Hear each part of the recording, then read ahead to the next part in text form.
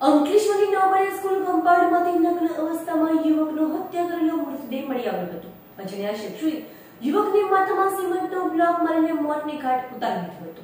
ઓળખ છુપાવવા મોઢા પર રાગ ઘસી હતી અને આમોદના રહીશ અને હાલ ઉમરવાડા ગામ ખાતે તબેલામાં કામ કરવા આવ્યો હતો. ગત રાત્રિના જ અગિયાર વાગ્યાના અર્શમાં ઉમરવાડાથી બેગ લઈને બનાવની વિગતો અનુસાર અંકલેશ્વર શહેરમાં આવેલ નોબડા સ્કૂલ કમ્પાઉન્ડમાં બેતાલીસ વર્ષીય વિઠ્ઠલ સુરભાઈ રાઠોડનો રહસ્યમય સંજોગોમાં નગ્ન અવસ્થામાં મૃતદેહ મળી આવ્યો હતો, જે અંગેની જાણ શહેર પોલીસને થતાં પોલીસ કાફલો પણ ઘટના સ્થળે દોડી આવ્યો હતો અને પોલીસ તપાસમાં વિઠ્ઠલના માથાના ભાગે સિમેન્ટના બ્લોક વડે મારી મારીને મોટને ઘાત ઉતારી દીધો હતો અને તેનો મૃતદેહ નગ્ન અવસ્થામાં હતો.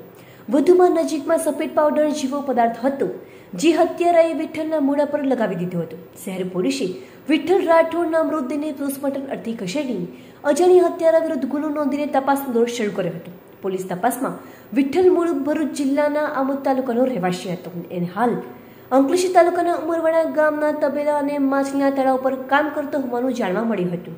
પોલીસ પૂછપરછમાં છેલ્લા પંદર દિવસ પૂર્વે જ તે કામે આવ્યો હતો અને ગત રાત્રિના અચાનક કપડાં ભરેલા બેગ લઈને નીકળી ગયો હતો. ત્યારે નબાળા સ્કૂલ ખાતે કેવી રીતે પહોંચ્યો અને અજાણ્યા ઈસમ કોણ હતો જેને ઈસમની હત્યા કરી હતી?